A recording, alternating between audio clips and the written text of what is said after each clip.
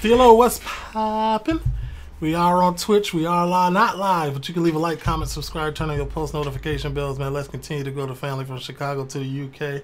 Uh, still documentary Monday. This is part two of the Charles Bronson cutting edge documentary prison. Pretty interesting stuff, man. Let's get back into this, man. The routine in solitary confinement is very easy to describe. It just consists of 23, often 24 hours a day, locked in a cell. Mark Leach, a former armed robber, spent nearly 20 years in prison and knows what it's like to be in total isolation in the block. It was only when I was in solitary confinement that I used to understand why the lion paces his cage. Not because he wants to look about, it's because he's bored off his head. It's because he's got nothing else to do. He's got no stimulus. So you pace up and down, up and down. And you get to the point where you do it with your eyes closed. That's the way that you survive. You walk up and down yourself for hours and hours and hours and hours and hours, day after day after day. That's torture. There's all kind of psychological torture, warfare going on in, in a segregation unit. It's a world upon itself. I mean, your average inmate's not fully versed with the reality of what goes on in the segregation unit. Behind those three closed doors, the reality is that they can do what the hell they like. And nobody seems to ask any questions.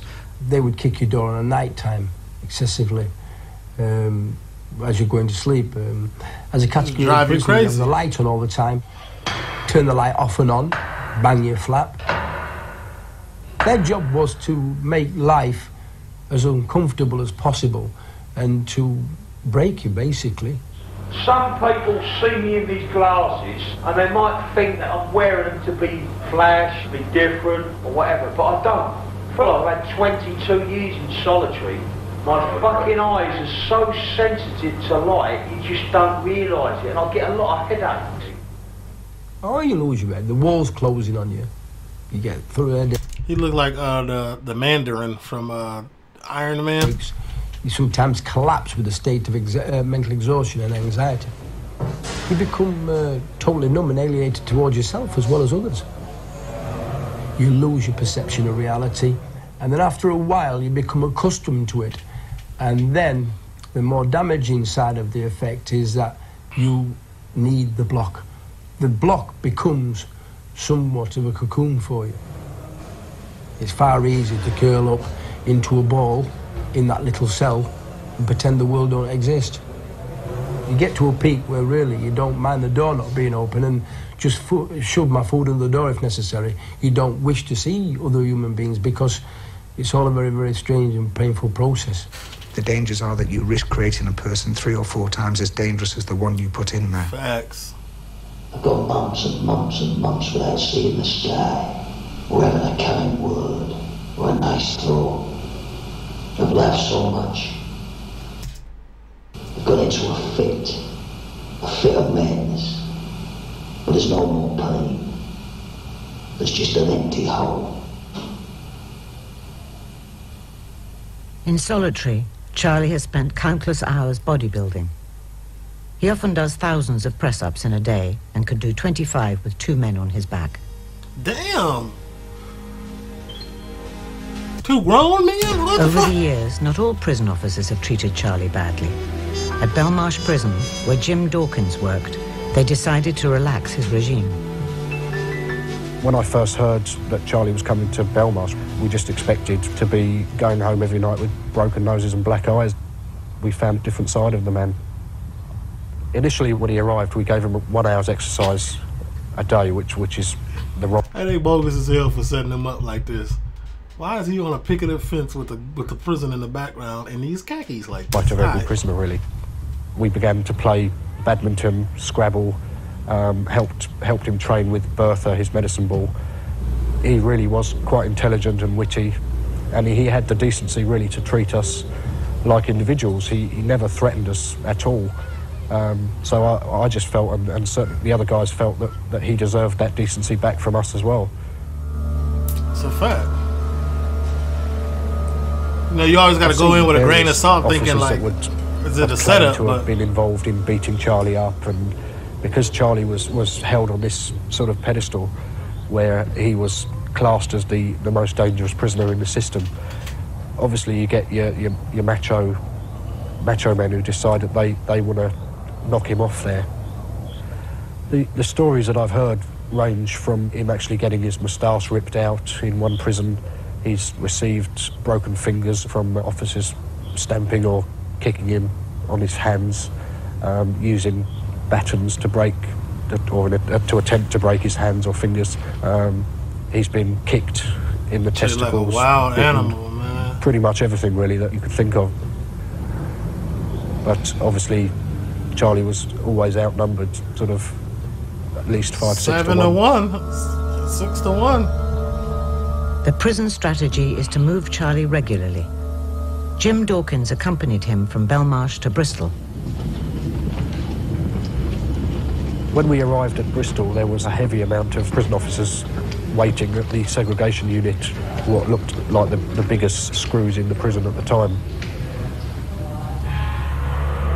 We were told we're not Charlie having any did of that not soft care. What the fuck? routine that you had with him up there. He's, he's going to be in the box 23 hours a day and that's it.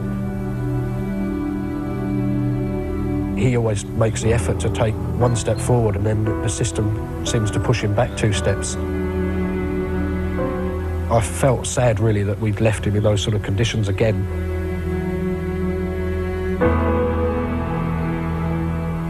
Another source of sympathy for about Charlie was a psychiatrist who had been invited by the governor of Parkhurst to study the prison's hard core of disruptive inmates. He was Dr. Bob Johnson. We had a very good session. These are really his drawings. These are wild. These are tough. I like these. I look, think- look at the nose on that man right there. Uh, we established a It's crazy. relationship then where he began to trust me and started discussing some of the roots of his emotional problems. I discussed his childhood influences because uh, the approach I have to violent and dangerous individuals is that the roots of the violence and the danger and the risk comes from their childhood experiences. Charlie wrote to Dr. Johnson for help.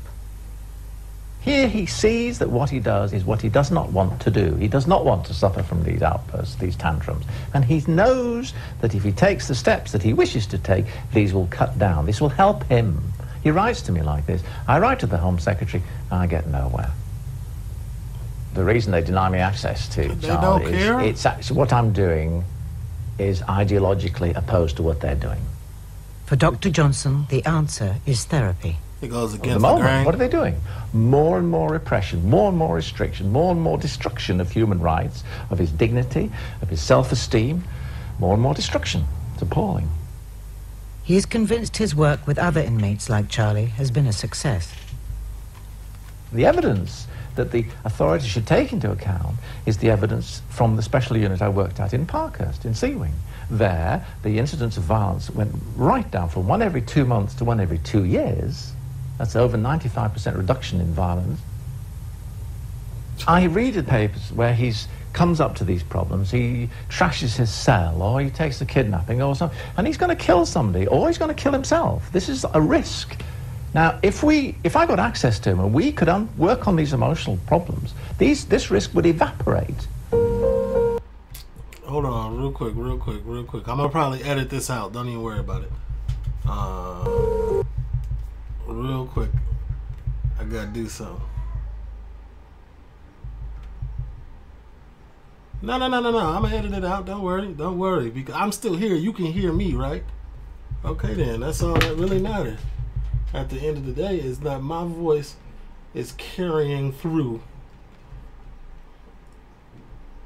I'm just trying to post this last video, man. Y'all, y'all, y'all understand, right? Y'all probably I don't even know why I'm talking because this coming out the video. It's not gonna be there. It's edited.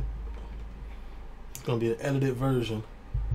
Because at the end of the day, I am and will always be one of the best editors on YouTube. You feel me? One of, if not the best. And, and, and I hold that title near and dear to me. You feel what I'm saying? Alright, we back. Told y'all. Y'all ain't even see most of that. Y'all don't even know what I'm talking about. When Charlie was jailed in 1974, he soon lost contact with his ex-wife Irene and small child Michael. Irene decided it was best to keep the true identity of Michael's father a secret from him. I never said anything at all about his dad. He never asked. If he'd have asked, maybe. Uh, Irene is bogus. He never asked. But apparently he used to talk to his sister quite She often. gonna always be dad. bogus. But he didn't like to say anything to me in case he upset me. Because I'd made a new life, I had a new family, and it was a long time ago. Irene ain't S H I T. He was, you know, was really playing on his mind all the time. He's always had a chip on his shoulder about it.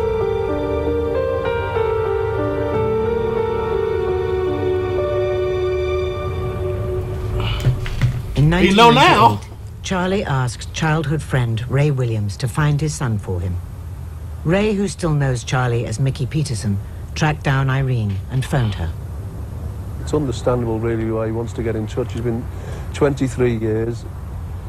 He's worried about his lad. He really would like to get in touch with his lad. I said, all he wants to do is know how his son is. I said, and if you could pass the message on to his son, if he doesn't want to know about his dad, he'll, nothing else will Okay, be what she say? mentioned about it. When Ray phoned up, I mean, I used to have nightmares about it because when I divorced him, when I divorced Mick, I mean, it was a very long time ago, years and years and years, a lifetime away. I'd had no contact whatsoever with him. I didn't know anything about him other than what I'd read in the papers. And the papers were saying that he's like Hannibal Lecter and he was a maniac and and he was mad and, all sorts of But you know that man. You know that man's heart. He married you. You know how he really moving. So you believe in what the paper said? things and it's frightening. You, you believe and you think, oh, he must have, he must be like that now.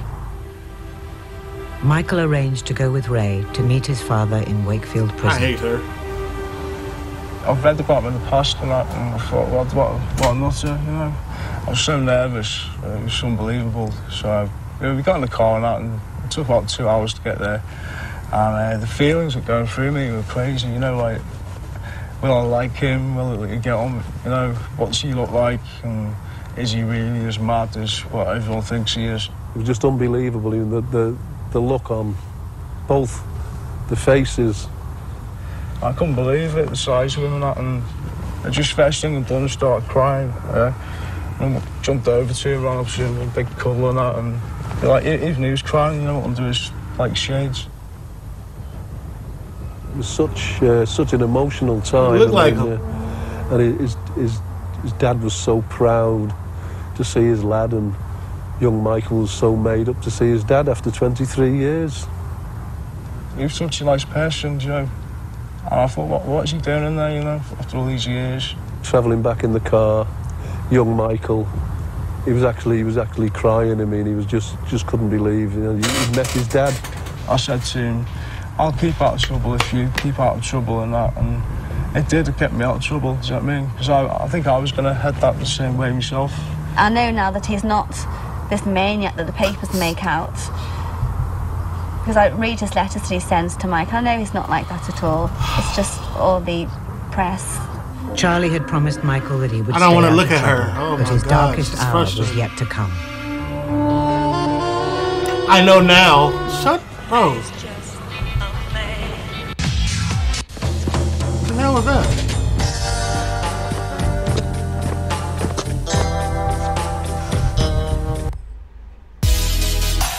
Is going on? I am lost.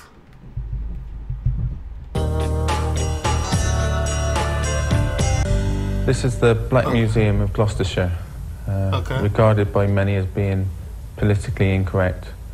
Uh, it touches on many taboo subjects. Can you believe, for example, that that is a genuine Ku Klux Klan outfit for a three to four year old? Yes, I can believe it. I believe that the Crime Through Time Museum houses the largest private Holocaust collection in the world. Pride of place in this part of the museum must go to the celebrity figure Charles Bronson. On display, there are several items, including his fob watch on display, which was given to him from the legendary figure of Ronnie Kray.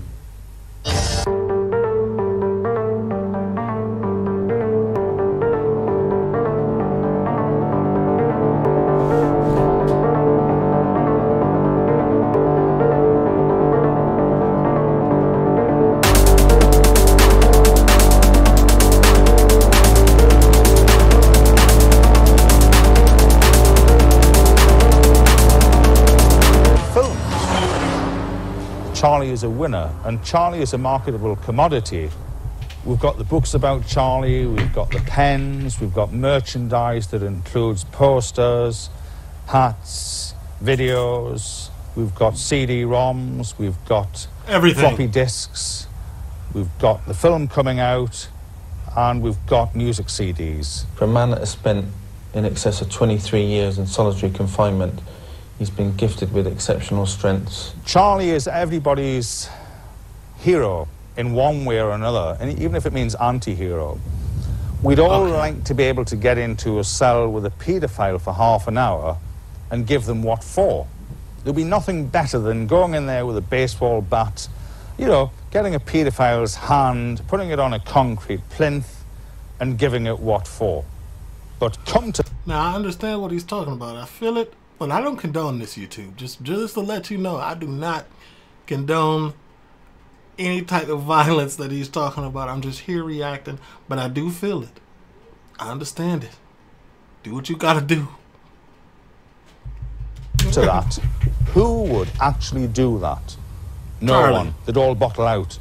But when Charlie does that, they say, yeah, that's right. Charlie's done one over. Charlie's kicked a paedophile's door in, a cell door, steel door. But the authorities then go, oh, Charlie's a nasty character. Let's put this propaganda out here about Charlie and let's make him look bad. We have other certificates, for example, which show that he lifted weights with his, his beard. There's a certificate of having done 1,790 sit-ups in one hour with a medicine ball. The general public are interested in oh. Charlie because of something called curiosity. We're all curious of what goes on somewhere that we can't get at. If it was Charlie here now, talking about himself, about his life, who might be interested in that? They may just go, well, yes, Me. we've heard it all before, this con and that ex-con and so on. I've never heard of him. But because they haven't allowed Charlie to talk, because Charlie is inaccessible, Charlie, to some extent, may be a myth. And people are intrigued by that. There's, there's many, many stories. Jan Lam was reported as having said that she had the greatest lay. When Charlie's released, take it from me, I think we'll have newspapers, we'll have TV shows fighting over that man for the first six months to get him on the show. And I think that there'll be an open checkbook there for him. But for now, that checkbook remains firmly closed. Firmly. In January last year, Phil Danielson was a local authority teacher working with inmates in a unit at Hull Prison where Charlie was being kept. Heard the door open, and the next thing I knew, I was on the floor. I knew I'd been thumped. And really, it wasn't until I heard the voice of the person who'd done it that I knew it was Bronson. I soon became aware that all these brave prison officers had scalped pretty quickly. And I later found out that the other five or six inmates that were on that wing had actually gone into their cells and plotted themselves in. Fairly shortly after that would trash the entire place. I believe we were talking about something like £500,000 worth of damage. And he spent a good half an hour to an hour totally trashing. If it moved, he trashed it. And that only added to my fear because can you imagine the noise? Probably the first three hours were the most frightening time when I was tied up and I thought he was going to kill me. Definitely thought he was going to kill me. I knew how physically powerful he was. I knew he could probably kill me with one blow.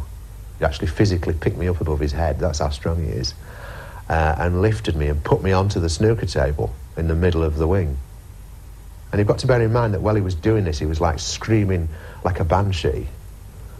I'm talking here about a guy that can physically pick up a very large fridge freezer and throw it up a staircase on his own. He taped or tied the big kitchen knife to the end of a pool cue, which effectively made it into a spear. He said, You keep quiet. Not that I was making any noise anyway, because this knife, take your last breath, because this knife's going in you. Have you heard of a film, a movie called uh, Dead Men Walking? He sit and forced me to watch Dead Men Walking, which is, as you, I'm sure you know, it's Susan Sarandon and uh, Never- never seen it. Madonna. Um, it's about a guy who's on death row, Well, not, not the most, it's hardly a Hollywood musical. It's not like somebody popping on the sound of music to cheer everybody up. You know, it's hardly sort of, um, and all, all Bronson could say is, that's a really good film, that is. Really good film, you know. And I thought, yeah, I know why you're doing that. I thought, you've got a cruel streak. It's not just, oh, poor Charlie, you've got a cruel streak. Because imagine how I felt having to watch that thing? Having, you know, been tied to a chair in front of the television, told to watch it, and he stood behind me, chuckling away at it.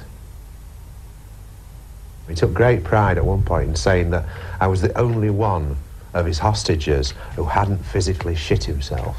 he really admired me for that. You had them So uh, clenched up, boy. You had just used the bathroom. That's why. Don't be too proud. I know you just used the Your bathroom. Your goal in life is to get ordinary, humane people to physically shit themselves. Well, I'm sorry, but there's something not quite right. Yeah, we been knew that, my boy. Said that he'd taken me hostage because I was the bastard who'd slagged off his artwork. And actually, that is not true. It never was true. We started on his demands. We're going to Cuba on a helicopter. We want a helicopter to go to Cuba. I think some sort of machine guns, which I think he'd seen in some film. But eventually, Charlie agreed to surrender himself, provided he was Charlie allowed was to see his solicitor boy, and that there would be no punishment beating from officers. Bizarrely, however, he wanted to extend the siege for a second night. He knew that if it went on for, as, for 44 hours, that it would be like the longest, and he was looking for the record breaker. That's why he did another night. It changed absolutely nothing. Half past nine on the Wednesday morning, he said, I want you to march in parallel with me, backwards and forwards, backwards and forwards, backwards and forwards, up and down, up and down. And he said, at 10 o'clock, he said, you just carry on walking.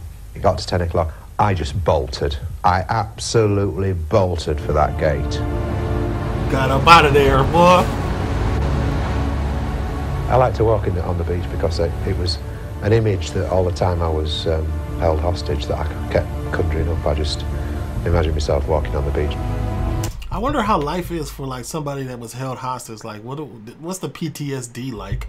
I'm curious. About six months after the incident, I suppose I had what would be commonly termed a nervous breakdown. I'm diagnosed with having post-traumatic stress disorder. See, I know it's the end there. of the siege was only the beginning. For Still you? going on. You know, a career I loved is ruined, and I don't know whether I'm going to be able to work. Lots of people who've been through ordeals like this are changed completely they are damaged. And in a sense, that's what I am. I'll never be the same again. In February this year, Charles Bronson went to trial for the siege. Having sacked his lawyers, he attempted to defend himself. Oh, Shortly before the trial, he rehearsed his plea to the jury over the phone to how a much he friend. get? His defense was that the system was to blame because prison had created him. How would you feel waking up in the A jury's not gonna understand that, man. without a window? My window is a steel grid, and I have to put my lips against that steel grid and suck in air. I've done nothing on this planet to deserve that.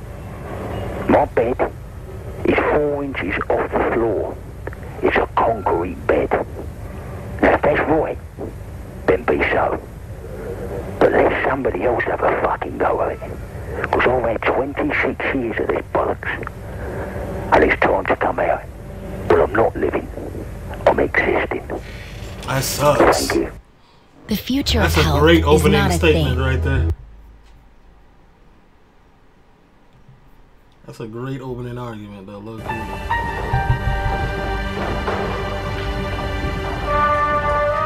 we almost done, huh?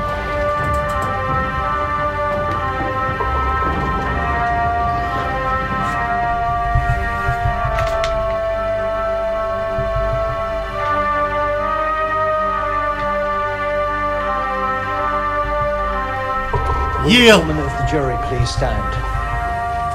Okay. On the charge of criminal damage, do you find Charles Bronson guilty or not guilty? Guilty. On the charge of Yeah, false getting one. imprisonment, do you find Charles Bronson Guilty or not guilty? Guilty. Ooh. Although nobody knows what is in your mind, your victims all have the same fear that they're about to lose their lives. You're dangerous and unpredictable, especially when you're upset and angry. Whilst there may not be any mental illness, there is clearly a continuing problem. The community at large, whether on the outside or in prison, deserves some protection from you. I consider that you will continue to be a danger, which is why I have to pass a sentence of life imprisonment. Charlie will not be eligible to apply for parole before 2010. They gave By folks then, life. he will be 57 years old. When is Damn, this torture going to stop? And where how on earth can we ever ever consider uh, releasing him unless he's been graced the opportunity to rehabilitate himself and address his offending behaviour and come on? 57. He's I 67, think that the system has got a great deal to answer for. I think um, the public need My man went in there for originally for a seven-year sentence. Has been in there for six. Educating and the politicians need educating. Prison is well never known killed nobody. to be an expensive way of making Never sold a drug. people worse. Very disappointed in him. Um, Wild. Um, I've been very, very hurt. Something I'll never ever forget. But he's too much. my They son. better not show Irene no more. I do not want to see Irene. I'm gonna win. I'm gonna get out. I'm gonna be free. I wanna be free. Some people might think I'm institutionalized. Some people might think, ah, Charlie's been in there too long. They probably say he loves it in prison. Well, I fucking don't love it in prison. I wanna go home.